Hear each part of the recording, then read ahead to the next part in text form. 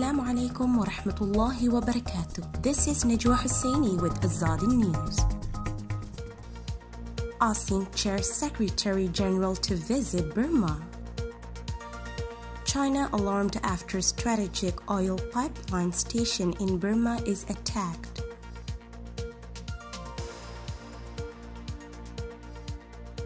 Three weeks have elapsed since the historic special meeting of ASEAN leaders at the organization's Jakarta based secretariat and the bloc's chair and chief now plan to have their feet on the ground in Burma after the end of Ramadan next week. They are scheduled to hold further talks with the military regime leader, Senior General Min Aung Hlaing, and concerned senior officials. The visit comes amid growing calls for more assertive ASEAN action in implementing the five point consensus agreed in Jakarta on April 24. Some critics have interpreted the lack of immediate tangible action as the bloc's effort to buy time for the military regime. According to a high level informed source who asked not to be identified, the joint visit will be made after Ramadan, which will end on Wednesday. The date has not yet been scheduled pending confirmation from Naypyidaw. In addition, the source added that the name of the ASEAN Special Envoy will soon be announced by the ASEAN Chair Sultan Hassan al Bolkiah of Brunei. Two prominent names included on the short list were former Indonesian Foreign Minister Hassan Wirajuda and former Thai Vice Foreign Minister Wirasak Futrakul. Both have wide ranging experience in engaging with Burma. Wirajuda was involved with the humanitarian task force assisting Burma during the aftermath of Cyclone Nargis in 2008. Wirasak is a former ambassador to Burma from 1991 to 1994 and served as vice foreign minister from 2015 to 2019. It is not certain how the regime would accept either of them as special envoy. Wirasak is known to be conservative and close to the military in Burma. He got to know several high ranking military leaders when he served as ambassador.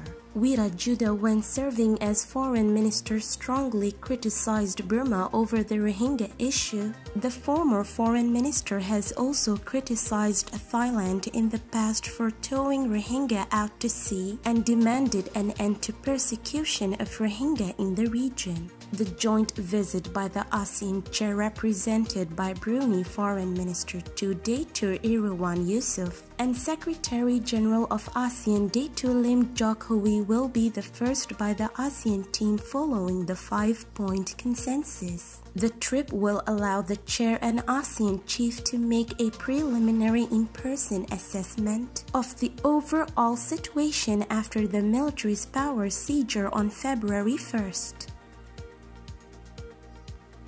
Alarm bells are ringing loud and clear in China after Burmese protesters have attacked a monitoring station of a strategic pipeline that ferries oil to China's Yunnan province. The Irrawaddy newspaper's website is reporting that security personnel guarding the pipeline's off-take station in Mandalay were killed. The sword and machete attack on the policemen was undoubtedly part of Burma's growing popular armed resistance against the regime, the Daily reported. The Burmese military has mounted a February coup that toppled elected leader Aung San Suu Kyi, triggering a cascade of high voltage protests. Though the pipeline has not been damaged, the bold strike nevertheless has jolted Beijing, and there are reasons why China should be deeply concerned. For starters, the pipeline is important for China's long-term energy security,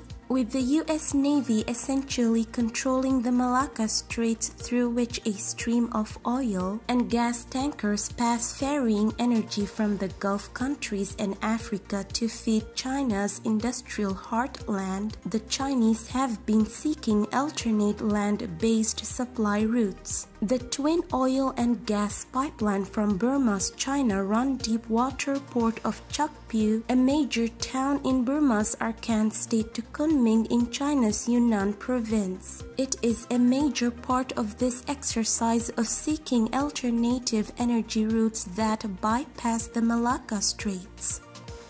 This is today's news. To get more updates about Rohingya, subscribe to our YouTube channel and hit the notification bell. Visit our website azaditvnews.com and follow our social media accounts. Wassalamu alaikum wa rahmatullahi wa barakatuh.